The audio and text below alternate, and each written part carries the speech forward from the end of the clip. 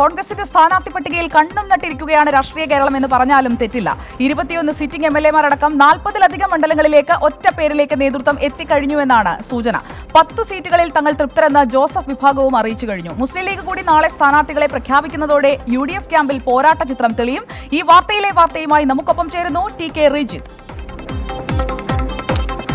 കോൺഗ്രസ് സ്ഥാനാർത്ഥി പ്രഖ്യാപനം നാളെ വൈകിട്ട് പട്ടികയിൽ ഇരുപത്തിയൊന്ന് സിറ്റിംഗ് എം എൽ എമാർ. ഗ്രൂപ്പ് സമ്മർദ്ദത്തിന് വഴങ്ങാതെ ഹൈക്കമാൻഡ് ടി സിദ്ദിഖ് നിലമ്പൂരിലും ജോസഫ് വാഴക്കൻ കാഞ്ഞിരപ്പള്ളിയിലും മാത്യു കുഴൽനാടൻ മൂവാറ്റുപുഴയിലും മത്സരിച്ചേക്കും. മുസ്ലിം ലീഗിന്റെ സ്ഥാനാർത്ഥികളെ നാളെ അറിയാം ജോസഫ് ഗ്രൂപ്പിന് പത്ത് സീറ്റ്. തൃക്കരിപ്പൂരും വിട്ടു നൽകിയേക്കും. ഇതാണ് വാർത്തയിലെ വാർത്ത. യു ഡി എഫ് സ്ഥാനാർത്ഥി നിർണയത്തിന്റെ കൂടുതൽ വിവരങ്ങൾക്കായി നമ്മൾ പോകുന്നു. അൽ അമീനിലേക്ക്. അൽ അമീൻ കോൺഗ്രസിൽ കാര്യങ്ങളിൽ ഏറെക്കുറെ ധാരണയായിരിക്കുകയാണ്. മറ്റുള്ളവർക്കുള്ള സീറ്റ് വീതം ഇപ്പോൾ അവരുടെ സ്ഥാനാർത്ഥികൾ അത് സംബന്ധിച്ചൊക്കെയുള്ള ചർച്ചകൾ അവസാന ഘട്ടത്തിൽ അല്ലെങ്കിൽ ഒറ്റ പേരിലേക്ക് എത്തിക്കഴിഞ്ഞു.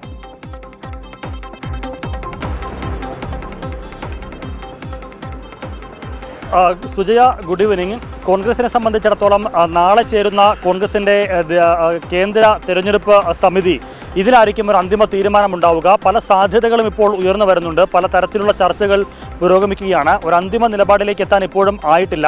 പക്ഷേ പല മണ്ഡലങ്ങളിലും ഒരു തീരുമാനത്തിലേക്ക് ആയിട്ടുണ്ടെങ്കിലും ചില പ്രധാനപ്പെട്ട മണ്ഡലങ്ങളിലും അതുപോലെ തന്നെ ശക്തമായ ത്രികോണ മത്സരം പ്രതീക്ഷിക്കുന്ന മണ്ഡലങ്ങൾ വി ഐ പി മണ്ഡലങ്ങൾ നിർണായകമായേക്കാവുന്ന മണ്ഡലങ്ങൾ ഇത്തരമിടങ്ങളിലെ സ്ഥാനാർത്ഥി നിർണയം അത് മറ്റു മണ്ഡലങ്ങളെയും സ്വാധീനിക്കും. അതുകൊണ്ട് തന്നെയാണ് ആ ഒരു പാക്കേജിംഗ് ഒരു മണ്ഡലത്തിൽ ആൾ മാറിയാൽ അല്ലെങ്കിൽ ഒരു മണ്ഡലത്തിലേക്ക് പരിഗണിക്കുന്ന ഫാക്ടർ ഒരു പക്ഷേ മറ്റു മണ്ഡലത്തിൽ ആൾ മാറുന്നതിനും അതുപോലെ തന്നെ വനിതാ അല്ലെങ്കിൽ യുവ പ്രാതിനിധ്യം ഒക്കെ പരിഗണിക്കുന്നതിന് കാരണമാകും. അതുകൊണ്ടാണ് കോൺഗ്രസിന്റെ സ്ഥാനാർത്ഥി പട്ടികയിൽ ഒരു തീരുമാനം വൈകുന്നത്. ഏതാണ്ട് ഒരു അന്തിമഘട്ടത്തിലേക്ക് അത് കടക്കുന്നു എന്ന് തന്നെയാണ് മനസ്സിലാക്കാനാകുന്നത്. നാളെ വൈകും വൈകുന്നേരം ആറു മണിക്ക് ചേരുന്ന കേന്ദ്ര തിരഞ്ഞെടുപ്പ് സമിതി ഇതിൽ ഒരു അന്തിമ തീരുമാനമുണ്ടാകും. അതിനുശേഷം പ്രഖ്യാപനം ഉണ്ടാകുമെന്ന് തന്നെയാണ് മനസ്സിലാക്കാനാകുന്നത്.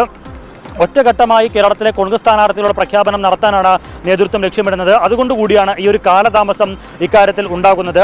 സിറ്റിംഗ് മണ്ഡലങ്ങളെ സംബന്ധിച്ചിടത്തോളം സ്ഥാനാർത്ഥികളുടെ കാര്യത്തിൽ ഏതാണ്ട് ഉറപ്പാണ്. ഇരിക്കൂർ മണ്ഡലം ഒഴികെ മറ്റ് മണ്ഡലങ്ങളിലെല്ലാം സിറ്റിംഗ് എം എൽ എമാർ തന്നെയായിരിക്കും സ്ഥാനാർത്ഥികൾ. പക്ഷേ അതുപോലും നേതൃത്വം പ്രഖ്യാപിക്കാത്തത് ഇത്തരത്തിൽ ഒറ്റഘട്ടമായി സ്ഥാനാർത്ഥികളെ പ്രഖ്യാപിക്കുക എന്ന ലക്ഷ്യം മുൻനിർത്തിയാണ്. സംസ്ഥാന ഘടകവും അതുപോലെ തന്നെ സ്ക്രൂട്ടറിംഗ് കമ്മിറ്റിയും ഒക്കെ തന്നെ കേന്ദ്ര തെരഞ്ഞെടുപ്പ് സമിതിക്ക് പട്ടിക സമർപ്പിച്ചിട്ടുണ്ട്. ആ പട്ടികയിൽ അവസാനവട്ട ആ, അവസാനവട്ട പുനഃക്രമീകരണങ്ങൾ നടന്നുകൊണ്ടിരിക്കുകയാണ്. സാധ്യതാ പട്ടിക നമ്മൾ പറയുമ്പോഴും പല മണ്ഡലങ്ങളും അവസാന നിമിഷങ്ങളിൽ മാറും മറിയുന്ന ഒരു സാഹചര്യവുമുണ്ട്.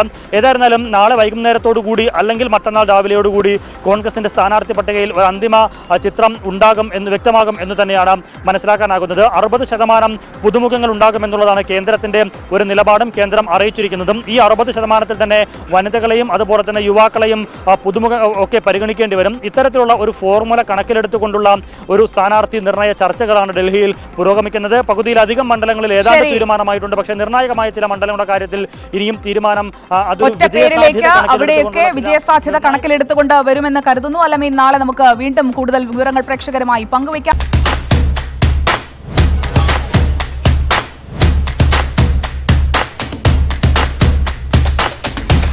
Number 1 election channel 24.